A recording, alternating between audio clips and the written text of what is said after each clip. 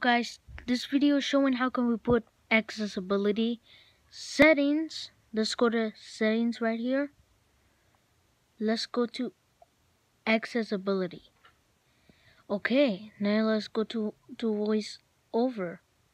Oops, there's a notifi YouTube notification. Now, voiceover, hit the this button. Now everything everything is talking.